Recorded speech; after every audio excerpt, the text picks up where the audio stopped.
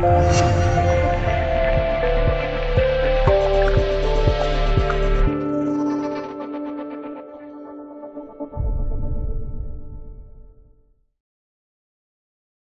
甲第二十九轮前瞻三队为最后一个冲超席位死拼，第二个降级队或产生。二零一八年中甲联赛将在本周末开始第二十九轮倒数第二轮角逐，因为联赛进入最后阶段，全部八场比赛按照惯例将同时开球，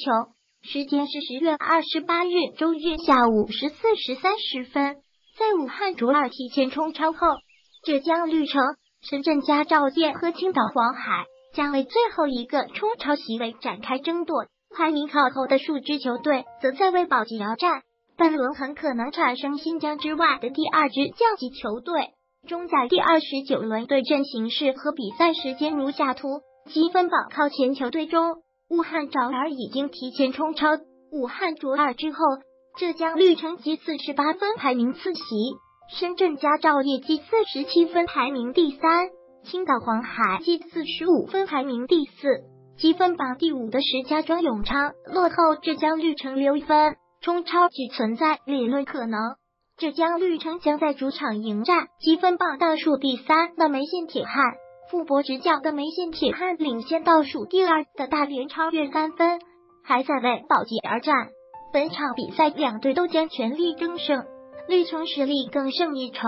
深圳佳兆业客场挑战上海申鑫。近几个赛季投入巨大的深圳佳兆业被称为中甲恒大，现在的主帅为上赛季带领大连一方完成冲超的前皇马主帅卡罗。深圳佳兆业不但落后浙江绿城一分，还在胜负关系上处于劣势，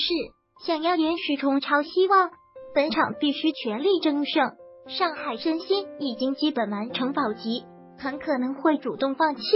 青岛黄海主场对决已经基本完成保级的梅州客家。青岛黄海与浙江绿城胜负关系相同，只要本场获胜就可以延续保级希望。主队获胜希望较大。石家庄永昌客场对阵延边富德，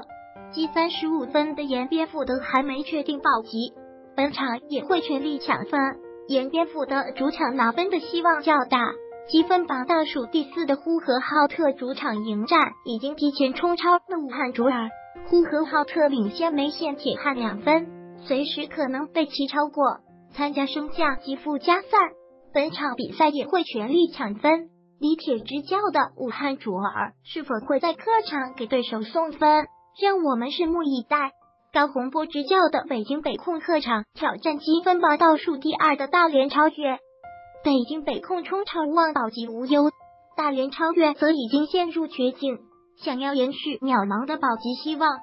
不但要自己获胜，还要寄望身前的梅县铁汉不胜。如果不能在主场获胜，大连超越将成为第二支提前降级的球队。中在实时积分榜如下：积分榜第七的辽足。将在客场挑战积分榜第十的浙江毅腾，辽足已经提前保级。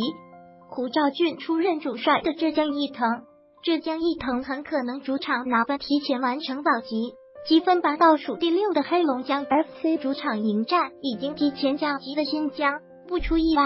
黑龙江将在一场胜利后提前保级。